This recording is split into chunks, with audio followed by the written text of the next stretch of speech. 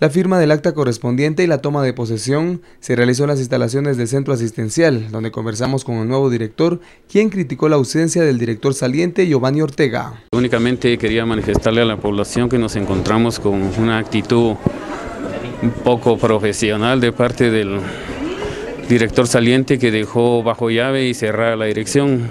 Falta de educación y de principios éticos. Bien, yo vengo aquí a Saltenango, el nombramiento es por acuerdo ministerial que fue emitido el 2 de, febrero eh, y ahorita procedemos a la, a la transición.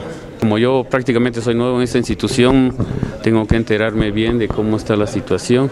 La expectativa es la que siempre se ha manejado en el Partido Patriota, del general Alto Pérez Molina, hacer las cosas con la mayor transparencia. En el tema, el funcionario opinó sobre el estado en el que actualmente se encuentran las instalaciones del Hospital Regional de Occidente. Pues mire, yo tenía varios años de no venir aquí al hospital porque yo soy egresado de aquí en la especialidad de cirugía.